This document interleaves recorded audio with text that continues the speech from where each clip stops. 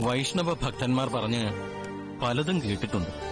പക്ഷേ ആ ശക്തിയിൽ വിശ്വാസമില്ലാത്തതുകൊണ്ട് അടിയൻ ഒന്നും ഓർത്തു വയ്ക്കാറില്ല. നിങ്ങളുടെ വിശ്വാസത്തിൽ ശ്രീ പരമേശ്വരൻ മാത്രമാണ് ദൈവവും സത്യവും ശക്തിയുമൊക്കെ. അതെ. ശ്രീ പരമേശ്വരൻ നാഗത്തെ ആഭരണമായി ധരിക്കുന്നുവെന്ന് നിങ്ങൾക്കറിയാമല്ലോ? അറിയാം. നാഗഭൂഷണനാണ് ഭഗവാൻ. നാഗങ്ങളുടെ തലവനായ അനന്തൻ വിഷ്ണുവിന് ശയ്യയായും തണലായും വർത്തിക്കുന്നു. ആ നിലയ്ക്ക് വിഷ്ണുവും ദൈവമല്ലേ? ശക്തിയല്ലേ? അതിപ്പോ അതിനെക്കുറിച്ച് അടിയൻ ചിന്തിച്ചിട്ടില്ല. അടിയന്റെ എല്ലാ ആഗ്രഹങ്ങളും യഥാസമയം നിറവേറ്റി തന്ന് അടിയനെ പരിപാലിക്കുവാൻ ശ്രീ പരമേശ്വരനുള്ളപ്പോൾ മറ്റൊരു ദൈവത്തെക്കുറിച്ച് ചിന്തിക്കുന്നത് മൂഢത്വമാണ്. ഒരേ ഒരു ശക്തിയുടെ വകഭേദങ്ങളും രൂപഭാവങ്ങളുമാണ് മറ്റുള്ള ദൈവങ്ങളെന്നിരിക്കെ. എല്ലാ ദൈവങ്ങളെയും ആരാധിച്ചുകൂടെ? ഇല്ല. അടിയന്റെ കറയറ്റ ഭക്തി മുഴുവൻ ശ്രീപരമേശ്വരനിൽ മാത്രം കേന്ദ്രീകരിക്കുമ്പോ ആ ഭക്തി മറ്റു ദൈവങ്ങൾക്കായി വീതിച്ചു പോകാൻ പാടില്ല. നിങ്ങളുടെ രൂഢമൂലമായ ശിവഭക്തി നിങ്ങളെക്കൊണ്ട് ഉചിതമായി മറുപടി പറയിക്കുന്നു. ആട്ടെ രാജഭക്തനാണോ നിങ്ങൾ? അതെ. കൽപ്പന അനുസരിച്ച് തിരുവാഭരണം പണിതു നൽകി രാജഭക്തി കാട്ടിയാൽ നിങ്ങളുടെ ശിവഭക്തിക്ക് ചോർച്ച സംഭവിക്കുമോ? മറുപടി പറയൂ. തിരുമനസേ വിഷ്ണു വിഗ്രഹത്തിന് ഹാരം പണിയാൻ അടിയന് സാധ്യമല്ല. അപ്പോൾ എന്നും കാരാഗ്രഹത്തിൽ കിടന്നാൽ മതിയോ? അതാണ് ശിവനിശ്ചയമെങ്കിൽ അടിയനത് ശിരസാ വഹിച്ചിരിക്കും ശിവഭക്തനായ നിങ്ങളെ കാരാഗ്രഹത്തിൽ അടച്ച് ക്ലേശിപ്പിക്കാൻ മനസ്സ് അനുവദിക്കുന്നില്ല.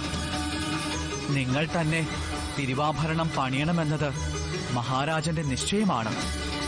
അത് നടന്നിരിക്കണം. നിങ്ങൾ വിഷ്ണു ക്ഷേത്രത്തിൽ പോവുകയോ വിഗ്രഹം ദർശിക്കുകയോ വേണ്ട. പൂജാരിയെ കൊണ്ട് വിഗ്രഹത്തിന്റെ അളവെടുപ്പിച്ചു തന്നാൽ ആഭരണം പണിത് നൽകിക്കൂടെ? നിങ്ങളുടെ ഭക്തിക്കോ വിശ്വാസത്തിനോ തെല്ലും ന്യൂനത സംഭവിക്കുന്നുമില്ല. രാജകോപം തരണം ചെയ്യുവാനും സാധിക്കും. എന്ത് പറയുന്നു? തിരുമനസിന്റെ ഇച്ഛ പോലെ. അടിയന് സമ്മതമാണ്.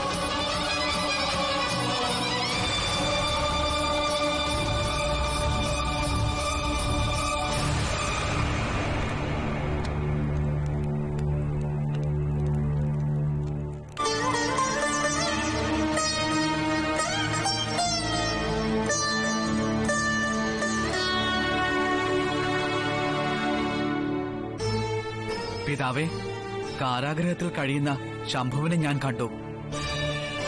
ഉവോ കുമാറിന് എന്തിനാണ് അയാളെ കാണാൻ പോയത്? തികഞ്ഞ ധിക്കാരിയും തന്റേടിയും തോന്നിയാസിയാണ് അയാൾ.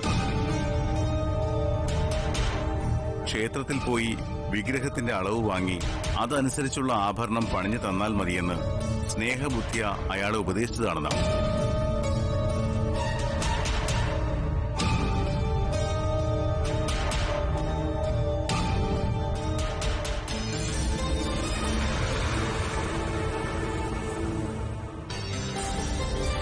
പ്രണാമം തരും മനസ്സേ. വിഷ്ണു ക്ഷേത്രത്തിൽ പോകില്ല.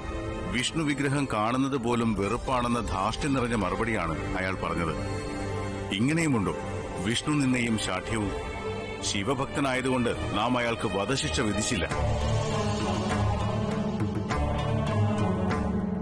അജ്ഞാനത്തിന്റെ പ്രതിരൂപമായ അയാൾ ഇനി ആയുഷ്കാലം മുഴുവൻ കാരാഗ്രഹത്തിൽ കിടക്കട്ടെ. അയാളുടെ അന്ത്യം കാരാഗൃഹത്തിൽ തന്നെ ആകട്ടെ. തിരുമനസിന്റെ ആ തീരുമാനത്തോട് അടിയൻ സർവാത്മന യോജിച്ചുകൊള്ളുന്നു വിഷ്ണു വിഗ്രഹത്തിന്റെ അളവെടുത്തു കൊടുത്താൽ കണ്ഠാഭരണം പണിഞ്ഞു നൽകാമെന്ന് അയാൾ എന്നോട് സമ്മതിച്ചു കഴിഞ്ഞു പിതാവേ.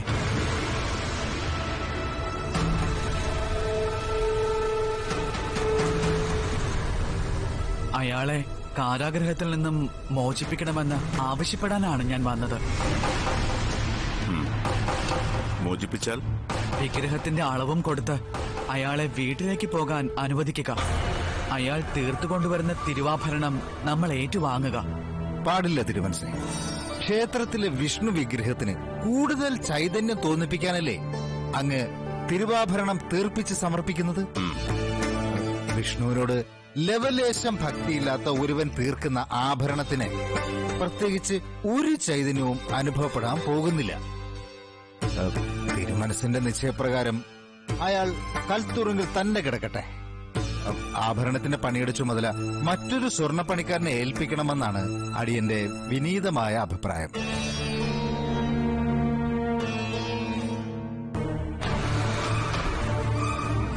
മന്ത്രി എല്ലാ ദൈവങ്ങളും ഒന്നാണെന്ന വകതിരിവിന്റെ ഒരംശം ശംഭുവിന്റെ ഉള്ളിൽ കുടികൊള്ളുന്നുണ്ട്.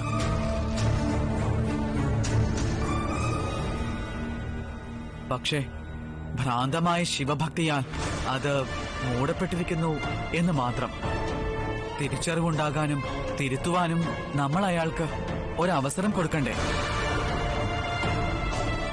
അതിപ്പോ തിരുമനസ് തന്നെ തീരുമാനിക്കട്ടെ.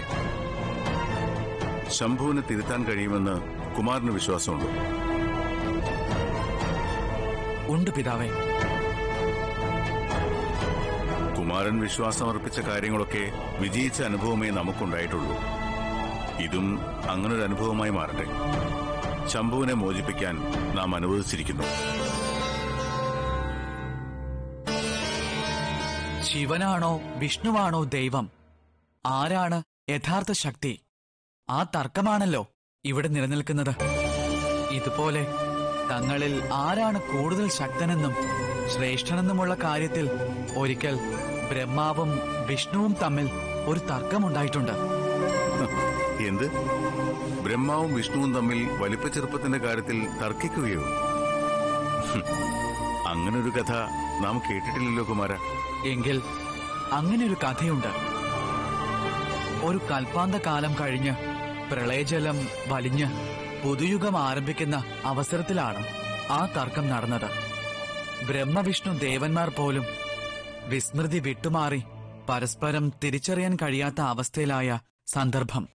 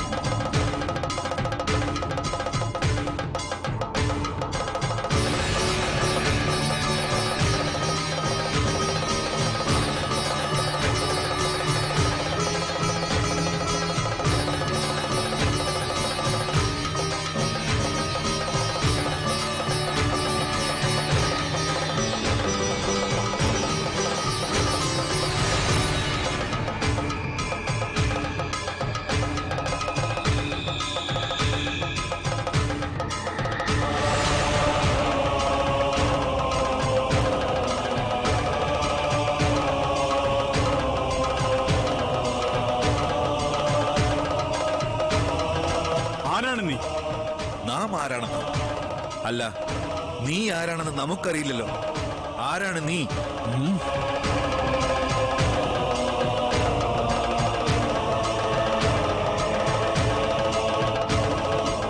ഓ ഒരു കൽപ്പാന്തകാലം കഴിഞ്ഞതല്ലേ ഉള്ളൂ. പ്രളയത്തിൽ മുങ്ങിത്താണ പ്രപഞ്ചത്തിൽ നിന്നും ജലം നിശേഷം വാർന്നുപോയി. പുതിയൊരു പ്രപഞ്ചം ഉരുവായി തീർന്നതല്ലേ ഉള്ളൂ. കൽപ്പാന്തകാലം നമ്മിൽ വിസ്മൃതിയുടെ കനത്ത മറ സൃഷ്ടിച്ചതിനാൽ പരസ്പരം തിരിച്ചറിയാൻ കഴിയാത്തത് സ്വാഭാവികം മാത്രം. ബ്രഹ്മാവാണ് നാം സൃഷ്ടികർത്താവായ ബ്രഹ്മാവ്.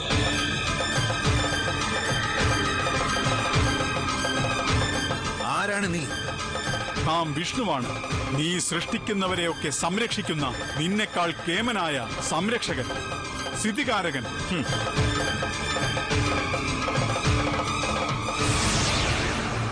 നമ്മേക്കാൾ കേമനോ? വിഡ്ഢി നമ്മിൽ നിന്ന് സൃഷ്ടിയുണ്ടായെങ്കിലല്ലേ നിനക്ക് അവരെ സംരക്ഷിക്കാൻ കഴിയൂ. അപ്പോൾ സൃഷ്ടാവായ നാമല്ലേ നിന്നെക്കാൾ കേമൻ. നമ്മുടെ കേമത്തിന് മുന്നിൽ നീ വെറും തുച്ഛൻ. നമ്മെ തുച്ഛനാക്കുന്നു. നിന്നെ തകർത്ത് കളയുന്ന.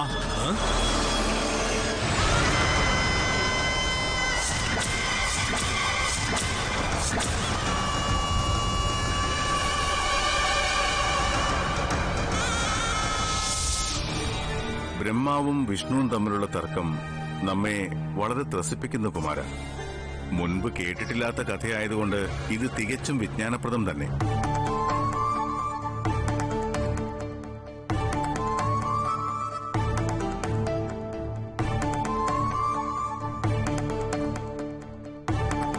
എന്താ? കഥയ്ക്കും കവിതയ്ക്കും ഒന്നും കാതു കൊടുത്തിട്ടില്ലാത്ത മന്ത്രിക്ക് ഈ കഥ ഇഷ്ടപ്പെടുന്നുണ്ടോ? ഉണ്ട് തിരുമനസേ. കഥ ഏറെ ആസ്വാദ്യകരം തന്നെ. ആരാണ് കൂടുതൽ ശക്തനും കേമനും എന്ന തർക്കം? മഹത്തുക്കളായ ബ്രഹ്മാവും വിഷ്ണുവും തമ്മിലാണ് ഉണ്ടായിരിക്കുന്നത്. അപ്പൊ പിന്നെ വെറും സാധാരണക്കാരനായ ശംഭുവിന് ശിവനാണോ വിഷ്ണുവാണോ ശക്തി എന്ന് സംശയം ജനിപ്പിച്ചതിൽ അത്ഭുതത്തിന് അവകാശമില്ല തിരുവനസൻ കഥ തുടർന്നാലും കുമാര. ബ്രഹ്മാവും വിഷ്ണുവും തമ്മിലുള്ള തർക്കം മുറുകി. ആരാണ് കൂടുതൽ ശക്തനെന്ന് തെളിയിക്കാൻ കഴിയാതെ ബ്രഹ്മവിഷ്ണു ദേവന്മാർ കുഴങ്ങി നിന്നപ്പോൾ ഒരു അത്ഭുതം സംഭവിച്ചു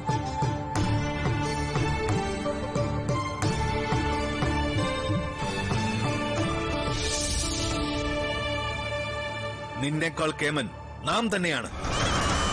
ആ പറയുന്നത് നിന്റെ മൂഢത്വമാണ് അജ്ഞതയാണ്. മൂഢത്വവും അജ്ഞതയും നിനക്കാണ്. നാം സൃഷ്ടിച്ചെങ്കിലേ നിനക്ക് സംരക്ഷിക്കാനും ശിവനെ സംഹരിക്കാനും കഴിയൂ. അപ്പോൾ ഒന്നാമൻ സൃഷ്ടാവായ നാം തന്നെയാണ്. നീയും ശിവനുമൊക്കെ വെറും രണ്ടാം സ്ഥാനക്കാർ.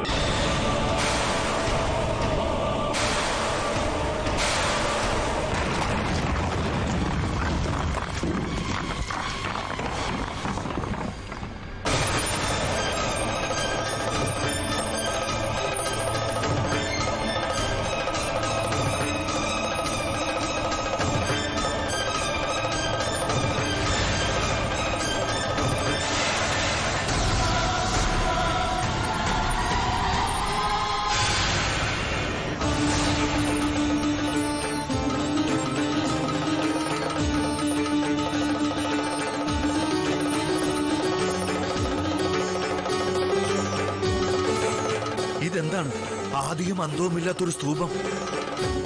നമ്മെക്കാൾ കേമനെന്നല്ലേ നിന്റെ അവകാശവാദം? ഇതെന്താണെന്ന് തിരിച്ചറിഞ്ഞ് നിന്റെ കേമത്തം തെളിയിക്ക്.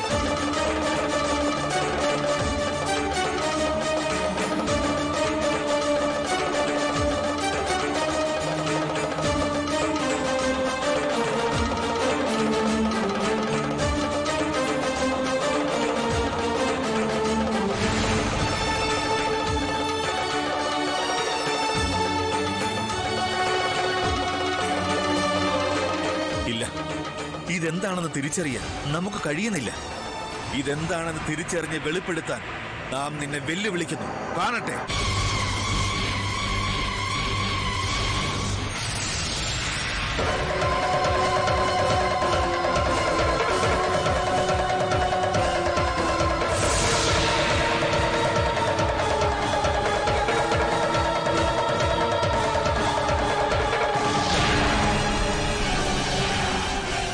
ബ്രഹ്മവിഷ്ണു ദേവന്മാർ ആരാണ് കൂടുതൽ കേമനെന്ന തർക്കത്തിലാണല്ലേ? നാം ആരാണെന്ന് മനസ്സിലായോ? പരമശിവൻ.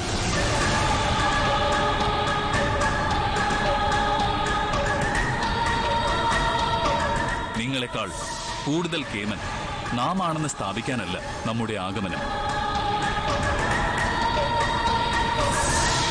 ഈ സ്തൂപം ശിവലിംഗമാണ്.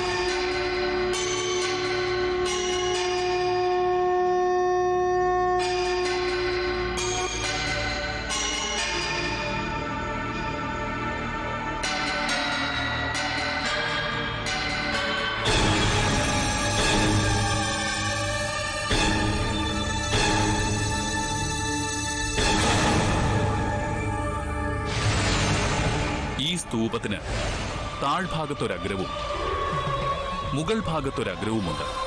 നിങ്ങളിലൊരാൾ കീഴ്ഭാഗത്തേക്കും മറ്റൊരാൾ മേൽഭാഗത്തേക്കും സഞ്ചരിക്കുക.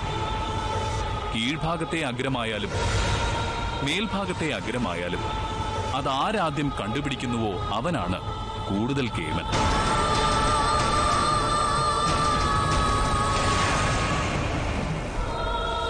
എന്താ? സമ്മതിച്ചോ?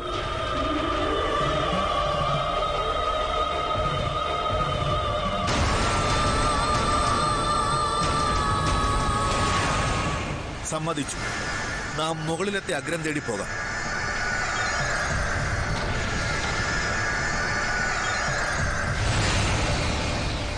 എന്നാൽ നാം കീഴ്ഭാഗത്തെ അഗ്രം തേടിപ്പോകുന്നു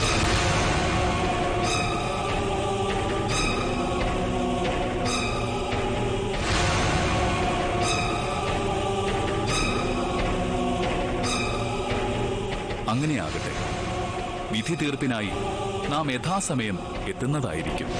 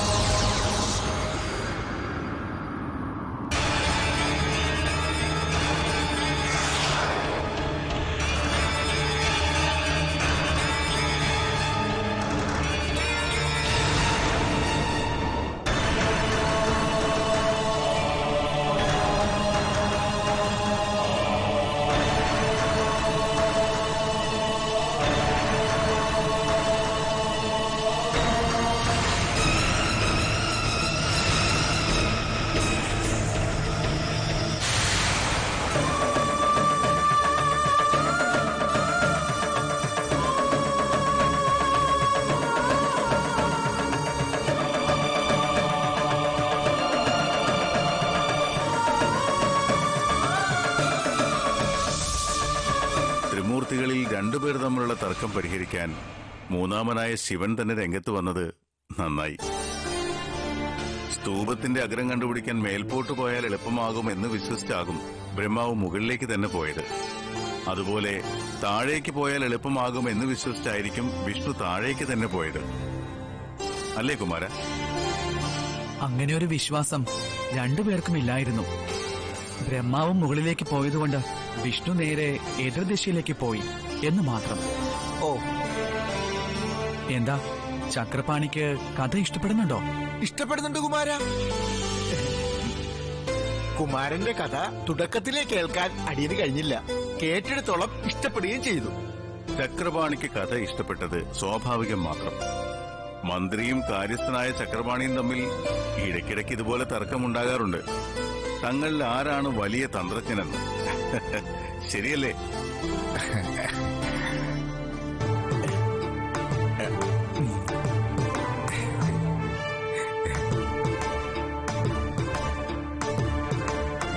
തിരുമനസേ സാധാരണ മനുഷ്യരെ പോലെ വലിയ വലിയ ദേവന്മാർക്കും ഉണ്ടല്ലോ പരസ്പരം കിടമത്സരവും അസൂയയും വലിപ്പ ചെറുപ്പ ഭേദവുമൊക്കെ അതുകൊണ്ടാവും ബാക്കി കഥ കേൾക്കാൻ തിടുക്കമായി.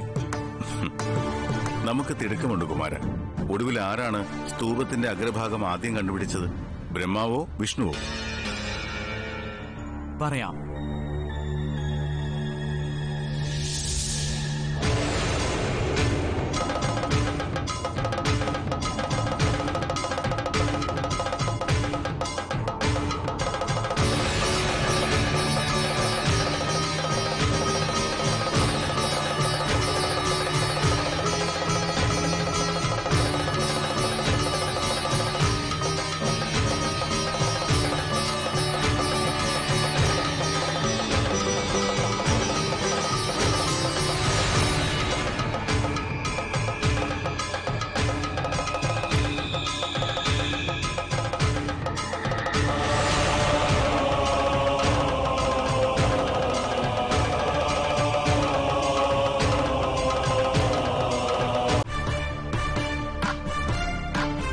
സ്വന്തം അവസ്ഥ മനസ്സിലാക്കാതെ ഉന്നത സ്ഥാനങ്ങളൊന്നും ആഗ്രഹിക്കരുത്. ശിവശക്തിയുടെ അഗ്രം കണ്ടെത്താൻ ഒരു ശക്തിക്കും സാധ്യമല്ല എന്ന തിരിച്ചറിവുമായാണ് നാം വന്നിരിക്കുന്നത്. എന്നാൽ ശിവലിംഗത്തിന്റെ മുകളിലത്തെ അഗ്രം കണ്ടുപിടിച്ചിട്ടാണ് നാം വന്നിരിക്കുന്നത്.